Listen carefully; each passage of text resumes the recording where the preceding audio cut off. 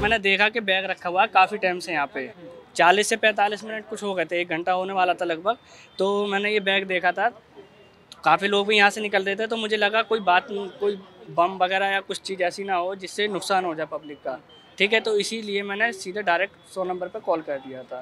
देश की राजधानी दिल्ली का कनॉट प्लेस का एन ब्लॉक इलाका, जहाँ पर आज अचानक से दिल्ली पुलिस और दमकल विभाग को एक कॉल मिली, जिसमें कॉल में कहा गया कि यहाँ पर एक लावारिस बैग पड़ा हुआ है जिसके बाद जो है आसपास का जो इलाका है वहाँ पर अफरा तफरी का माहौल जो है वो पैदा हो गया। लेकिन मौका रहते जल्द से जल्द जो है दिल्ली पुलिस के जवान और दमकल विभाग की जो टीम है वो मौके पर पहुँच गई और लगातार जो है उस बैग की तलाश तलाशी ले रही है कि आखिर उसके अंदर क्या है। मैं आपको दिखाना चाहूँगा वो बैग जो है हमारे सामने ही आ, रखा हुआ है और आप आ, देख सकते हैं कि किस तरह से आ, जो डॉग स्क्वाड की जो टीम है और यहाँ तक की जो बम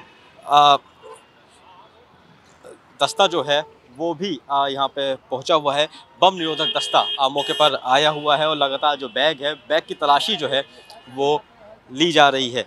जी हाँ बिल्कुल हम आपको बताना चाहेंगे, जैसे अभी हाल ही में राजधानी दिल्ली की अगर बात करें तो दिल्ली के अंदर जो है पिछले दो से तीन दिन का जो जो दिन गुजरे हैं, उसमें माहौल जो है दिल्ली पुलिस के लिए काफ़ी तनावपूर्ण रहा है।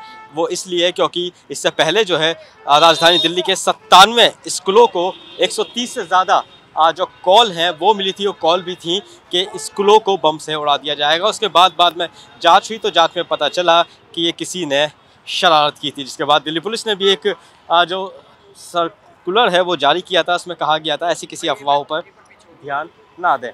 तो अब साथ ही साथ जो है ये भी कहा जा रहा है कि यहाँ पे जिस तरह से ये जो बैग मिला है, इस बैग की जो तलाशी है वो भी लगातार ली जा रही है और यहाँ से आसपास का जो इलाका है वो पुलिस के ज़रिए जो है वो खाली कराया जा रहा है और यहाँ पे जो बॉम्ब स्क्योट की जो टीम है वो भी मौके पर पहुँची हुई है।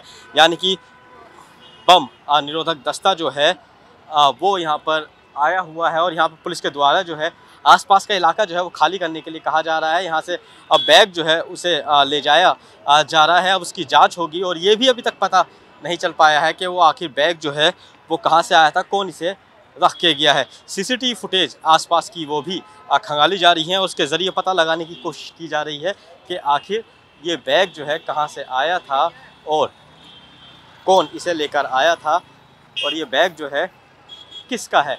तो यहाँ पे आप देख सकते हैं कि डॉग स्क्वाड की टीम जो है वो भी मौके पर आई है और लगातार जो है बैग को जो चेक करने की जो प्रक्रिया है वो भी लगातार जारी है। हम आपको बता दें कि फ़िलहाल जो है जाँच एजेंसियों की जो टीम है, वो भी मौके पर आ गई है और बैग को जो लगातार हिला कर देखा जा रहा है कि आखिर बैग के अंदर है क्या।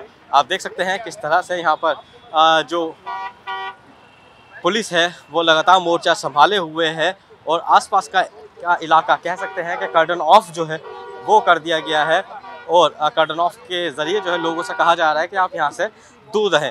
फ़िलहाल ये बैग कहाँ से आया है, इसके बारे में किसी को पता नहीं है, उसके अंदर क्या है ये भी किसी को पता नहीं है। और जाँच जो है वो लगातार जारी है। मैं यहाँ से काम कर रहा था तो मैंने देखा कि बैग रखा हुआ है काफ़ी टाइम से यहाँ पे। चालीस से पैंतालीस मिनट कुछ हो गए थे, एक घंटा होने वाला था लगभग। तो मैंने ये बैग देखा था। काफ़ी लोग भी यहाँ से निकल रहे थे तो मुझे लगा कोई बात, कोई बम वगैरह या कुछ चीज़ ऐसी ना हो जिससे नुकसान हो जाए पब्लिक का।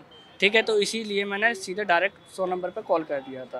और मुझे पता नहीं था इसके अंदर कुछ है या नहीं है। बस मैंने लोगों की सेफ्टी के लिए और अपनी सेफ्टी के लिए फ़ोन करा था। नहीं मैंने ये मैंने ये नहीं देखा बैग किसका था किसका नहीं था। अज्ञात बैग रखा हुआ था यहाँ पे काफ़ी टाइम से।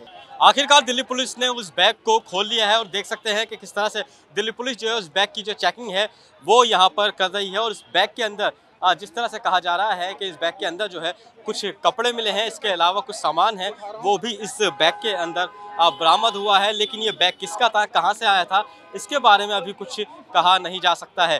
तो देख सकते हैं कि किस तरह से दिल्ली पुलिस के जो जवान हैं, उनके पास ये बैग है और ये बैग जो है अब साइड में ले जा रहे हैं। इसके अंदर क्या क्या सामान है, वो अभी इन्होंने खोल के दिखाया था। इसके अंदर फ़िलहाल जो है अभी पता चला है कि कुछ कपड़े थे, कपड़ों के अलावा जो है इसके अंदर और भी जो सामान था उसकी भी जाँच की जा रही है, लेकिन ये बैग किसका है, कहाँ है, किसका बैग था, कहाँ से आया था, इसके ये अभी संशय बना हुआ है और अभी तक उसका पता नहीं चल पाया है जिसका ये बैग था। फ़िलहाल जो है, आप देख सकते हैं कि पुलिस का एन ब्लॉक का इलाका है और यहाँ पर जिस तरह से जब कॉल मिली थी, कॉल मिलने के बाद जो है यहाँ पर दिल्ली पुलिस काफ़ी सतर्क हो गई थी। सतर्क होने के साथ साथ जो है यहाँ पे दमकल विभाग की जो टीम है, वो भी मौके पर आ गई थी और मौके पर आने के बाद जो है, जो आसपास का जो इलाका है, वो कर्डन ऑफ़ कर दिया गया था। लेकिन फ़िलहाल जो है, इस बैग के अंदर जो है, फ़िलहाल अभी ऐसा कुछ नहीं मिल पाया है। और यहाँ पर जो है, देख सकते हैं कि किस तरह से जो है, यहाँ पे बैग में क्या सामान था, क्या नहीं था, इस बारे में दिल्ली पुलिस के जो अधिकारी हैं वो अभी कुछ नहीं बोल पा रहे हैं क्योंकि ये ऑथराइज भी नहीं है बोलने के लिए। डीसीपी डीसीपी बोल पाते हैं इस बारे में लेकिन जिस तरह से जो है इसके अंदर क्या मिला क्या नहीं मिला ये कुछ नहीं मिला तो करते हैं। जी बिल्कुल ये कुछ नहीं बोल पा रहे हैं। तो ज़ाहिर सी बात है कि बैग की जो तलाशी है वो ली गई थी लेकिन ऐसी घबराने वाली कोई बात नहीं है और ना ही कोई ऐसा इसके अंदर सामान मिला है।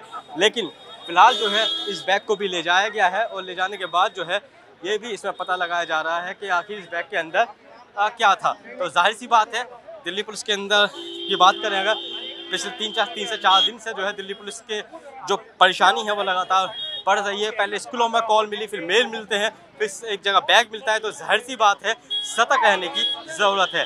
दिल्ली से कैमरामैन अनिल सिंह के साथ वाजिद अली नवोदय टाइम्स।